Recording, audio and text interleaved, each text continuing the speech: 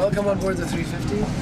走进机舱，广体机身、挑高感设计，看起来视野相当广阔。全新空中巴士 A 三五零一千世界巡回展示首度到台湾亮相。哇，可以躺下。你觉得它这个座位跟以前的比起来？前的有稍微大一些。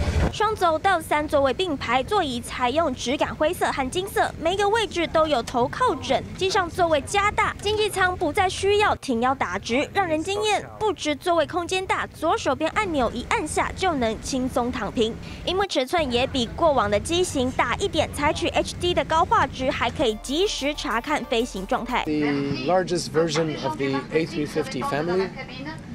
And uh, it's about seven meters longer than the A350 900.